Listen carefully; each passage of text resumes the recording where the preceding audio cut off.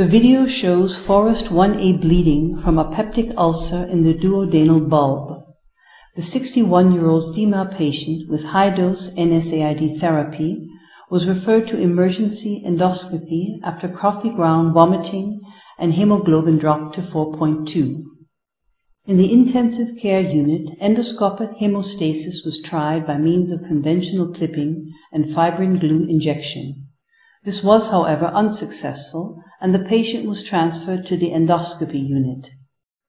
An OTSC-12-6T clip is placed after identifying the duodenal bleeding site and tissue management by means of endoscopic suction. Immediate hemostasis is achieved.